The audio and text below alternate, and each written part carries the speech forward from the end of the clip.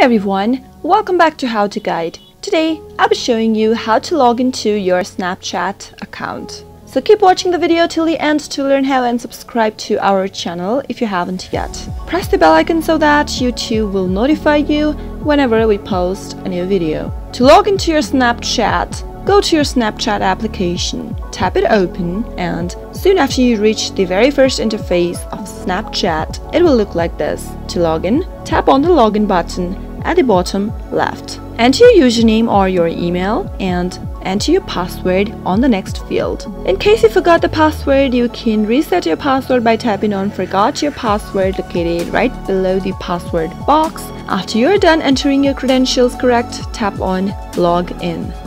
Soon after you do that, you'll be logged into Snapchat.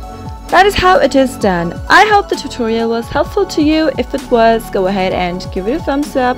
Feel free to comment down below in the comment box if you have a question or a feedback for us. I'll surely be back again with more tutorial episodes. Goodbye till then.